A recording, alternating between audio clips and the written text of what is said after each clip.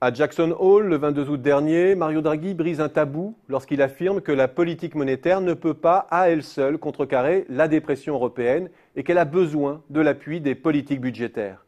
Il bouscule ainsi le confortable compromis dans lequel s'étaient installées les autorités européennes. D'un côté, les États auraient pour mission de mener à bien les réformes structurelles et l'assainissement budgétaire nécessaires au rétablissement de leur offre. De l'autre, la BCE interviendrait sur le front de la demande en impulsant le crédit aux entreprises comme antidote à l'impact récessif des politiques d'ajustement. L'enjeu de la coordination européenne résiderait alors tout entier dans ce que l'on appelle le policy mix, la politique budgétaire appuyant sur le frein, la politique monétaire sur l'accélérateur pour un résultat neutre sur la croissance au final.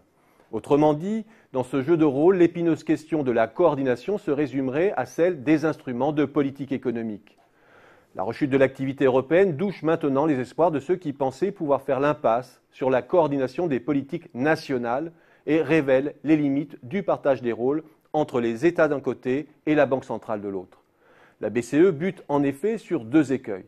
Premièrement, le trou d'air de l'activité est bel et bien là et le quantitative easing annoncé à grand renfort médiatique en juin est encore dans les limbes. Le bilan de la BCE n'en porte toujours pas la trace, et lorsque l'on connaît les délais qui séparent les impulsions et leurs résultats tangibles sur l'économie réelle, l'inflexion politique de la BCE est arrivée bien tardivement. Deuxièmement, réanimer le crédit dans un contexte de retournement baissier des anticipations de demande est mission quasi impossible. La Banque du Japon s'y est essayée pendant des années sans succès par le passé. Or, tout porte à croire que la léthargie du crédit aux entreprises en Europe est due d'abord à la faiblesse des projets d'investissement et non l'inverse. Difficile de susciter dans ce contexte un changement de comportement des entreprises quand les carnets de commandes se dégarnissent.